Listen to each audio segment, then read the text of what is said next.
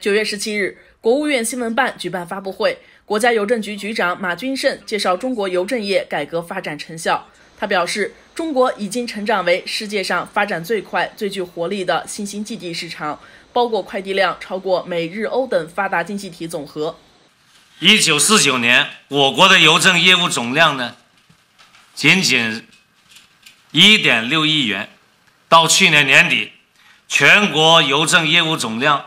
已经达到了一万两千三百四十五亿元，我们七十年间增长了七千七百多倍。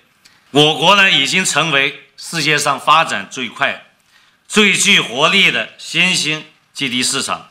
我们的包裹快递量已经超过了美国、日本和欧洲等发达经济共同体的总和，对世界。增长的贡献率超过了百分之五十。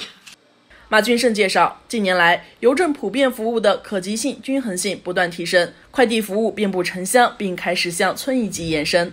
二零一八年，中国共建成村邮站十七点八万个，邮乐购站点六十一万个，基本覆盖了行政村。乡镇快递网点覆盖率超过了百分之九十五，建制村直接通邮基本完成。我们西藏阿里地区是很边缘的。普兰县，我们搞这个工程以后，普兰县的藏族兄弟都能跟我们北京一样网购，把包裹送到他手上。他讲这个真不容易啊！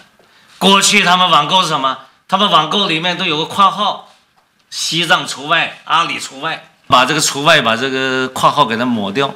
你说他们的心跟我们北京的心呢是相通的。自2015年以来，中国快递业务量基本每年增长100亿件。2016年突破300亿件，2017年超过400亿件，2018年是507亿件，2019年预计超过600亿件。马俊胜表示，这意味着2019年中国平均每人大概收寄45件快递，平均一个人呢大概有45件快递。当然，城市人用的比较多啊，有六七十件，农村呢。今年已经快到二十件了。然后现在农民怎么样？还到骑个摩托到乡里面取快递啊？这个呢，现在呢，跟过去的到县里面已经有很大的改善了，但是这个还不够。我们一定要要送到村里面去，对吗？怎么送？刚刚讲了，一个你快递企业抱团往下送，一个那个交通合作，公交线路往下送，第三个的快邮合作往下送，三年时间把这个问题解决。更多精彩尽在中国新闻网客户端。